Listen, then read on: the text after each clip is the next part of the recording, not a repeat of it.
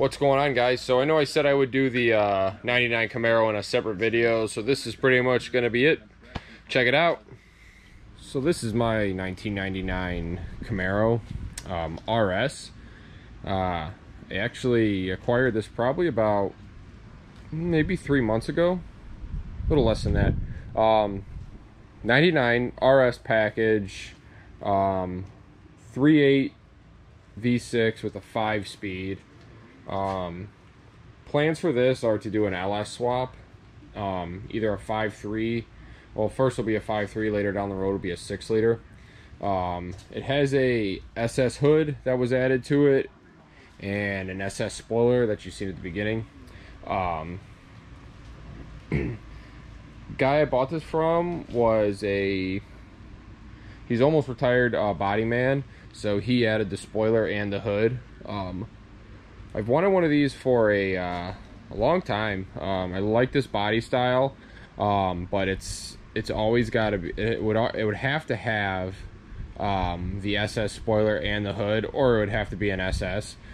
But this is the best of both worlds because um, this is was relatively cheap um, for a clean car, and um, I don't have SS money, so to get something you know a clone like that for this for the price I paid for the car is good for me. Um, car was originally from Florida, spent its whole life in Florida, which the paint's in pretty good shape for being a Florida car. Um, the uh, owner of it before the previous owner that I bought it from, she adored the car. She took really well, really good care of it. Um, underneath's immaculate and i mean i probably keep talking about it being clean because i'm actually from cleveland and so a lot of these cars uh, get rotted out very very easily. Um, so when we see something that's as clean as this car we get pretty excited. T-top car which i like because the iroc has t-tops so that's pretty cool that they match in that um, aspect. Um, i like that it is a five speed because i am going to go with a t56 um, so I don't have to swap over, you know, a console, uh, cut a hole, clutch pedal, reservoir, all that kind of stuff. The 3.8 in it is knocking, um, so it's just pretty much a roller, um, a clean roller at that. That doesn't really need much of anything besides an engine and a trans. Um, interior is pretty clean. Uh, dash pad isn't cracked, which is great. Um, I think there's a little split up top there. Just right there, but I'll take that over that whole thing being cracked up. Uh, white interior, which is pretty cool. We, uh, we like to call it the classy white leather interior. Nice and classy. But, uh, anyway, uh, let's hop in here. What do I do with the keys?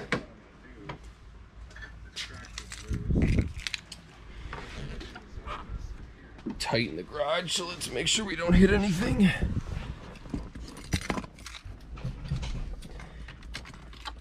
Let's see. Car's got uh, 159,000 miles. Um, like I said, interior is relatively clean. Uh, nothing's really ripped except that one spot in the dash. The top of the rear seats are a little messed up, but we can maybe give them some love and they'll turn out a little bit better. Um, the whole car needs it needs new speakers, which isn't a big deal. Uh, who hasn't wired up speakers in their day? Um, dude gave me a uh, new window motor with it, which is pretty cool because this passenger side is, you know, your typical GM window motor. Very, very slow. Um, going down's okay. Driver side's good though. And it's auto. I think it's auto down. Yeah. Which is cool. Uh, let's start this thing up so you, could hear how bad this thing really is knocking.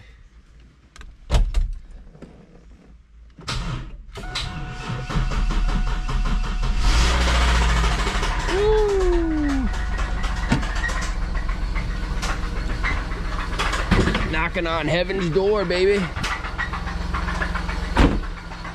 I am just kind of uh, keeping this engine in here just to be able to move it in and out of the garage. Let's shut her off. She's had enough abuse.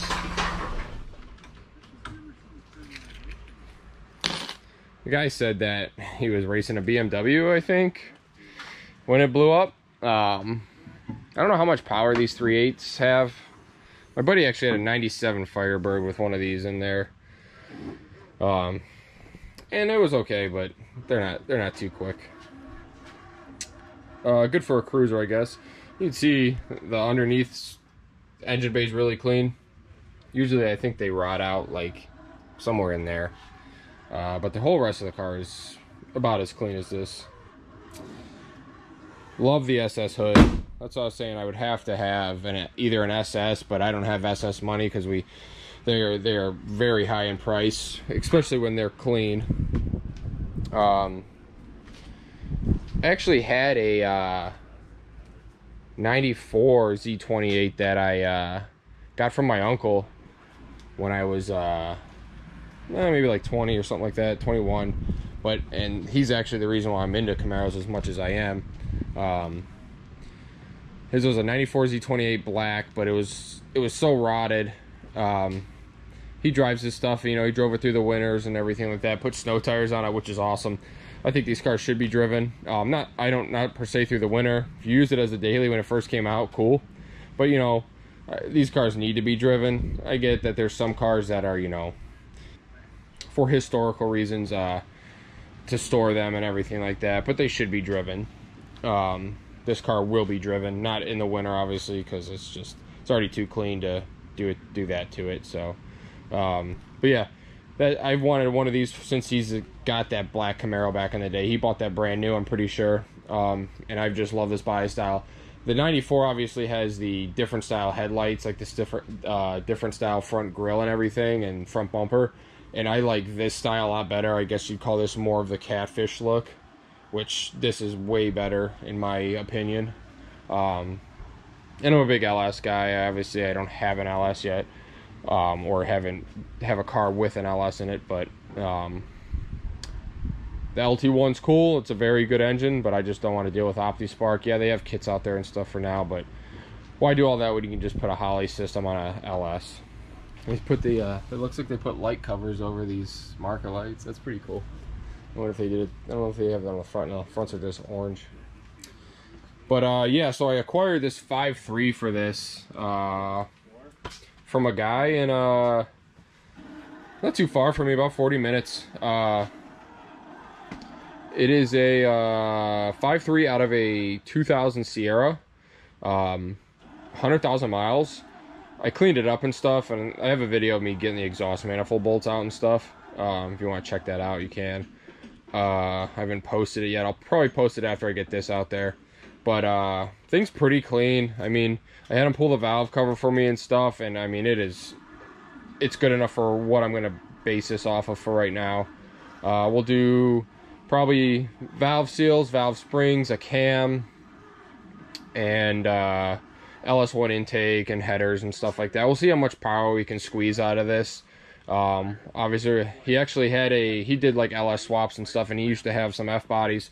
So I actually got a F body pan from him for like 40 bucks, which is a steal. I'm, I'm trying to see how cheap I can do an LS swap for. Not like super, super cheap, but relatively budget friendly. Um, so I, I mean, I paid, this was, I didn't want to go to pull apart and go through the, I have pulled the engine out of pull apart twice. One with my buddy, he got really lucky. The truck had low miles on it and the truck was just wrecked. So he got lucky with that. Um, but, uh, most of those engines up there look were all I pulled like three separate valve covers and all of them were like just caked up with you know they it's either a truck that gets beat on or a service van that you know who changes oil in service vans often I drive one for a living and I tell you when that light comes on I mostly ignore it and I get there when I get there so this was like a, I mean for I paid $400 for this thing and for it being as clean as it is I'll take it because I mean, at pull apart, you're probably spending, you know, I would say maybe, you know, if you just got with the intake and accessories and everything, you're definitely paying paying close to that, and you got to do your own work. So this was already pulled. I went there, pulled up, guy dropped it in my truck, headed out. So yeah, we're just gonna do a uh, cam, lifters, valve seals, and an LS intake, and obviously new gaskets and everything like that. Maybe I'll, I'll probably pop a new rear main seal in it. But yeah, so this is uh, that's pretty much the plan for this. We'll, we'll try to acquire a T56. We'll see how much they cost and stuff. Um, hopefully, I can save up the money to get one. And I would like to have it running by the uh, end of this summer, maybe into fall. I do have an LS1K member, so I'm gonna think I'm gonna try to build all the suspension off of that, and then uh, drop the K member, put the K member with the LS up into the car. Just seems like it might be easier. We'll see what happens though. So yeah, um, trying to think anything else. It's got all LS1 brakes on it. I think 98 to 02 they uh, they just kept that they these always had uh, LS1 brakes on it. At least it's the same brake setup that I put on the IROC. Um, so that's cool. So I don't think I have to do too much. Maybe down the road we'll do Brembos, but I would like to get Brembos for the IROC too. So we'll see who wins that battle. Um, maybe we'll do both. Uh, I don't know if it's a posi. Um, I couldn't spin the tires on it because I actually tried to, and the motor like kind of locked up from it knocking so bad. So I actually got it running again. But I didn't want to try it again. I just want to be able to have something to run to be able to pull out of the garage, pull it back in in case I got to work on something in there. Um, trying to think of what else. The only other thing I could show you is the rear hatch area. That stuff's it's pretty good. Let's see if this thing will open for us. Nope. Let's I swear that SS spoiler on there's too heavy for it. it. Needs like heavier shocks or something. Let's lift this guy up. Oh man. Yeah, it's relatively clean back here. Um, got your slots for the uh, T-tops in there. Speakers, those are blown out. Oh, this is I was talking about that rear seat. It's kind of like all the sun was beating down on it. Maybe we can put some type of juice on there and make it look a little bit better.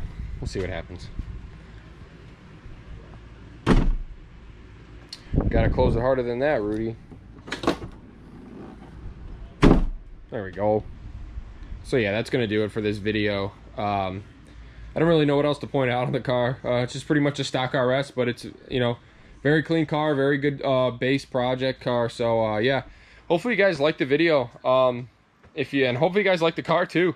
Um, leave a like, leave a comment if you had any questions, you know, or uh, any suggestions for me. I'm open to anything. Uh, leave a dislike if you didn't like it, and uh, if you could, that'd be awesome if you could subscribe. Um, we're just starting this off, so we'll see where, where this takes us. Um, and uh, but yeah, for now, uh, take it easy.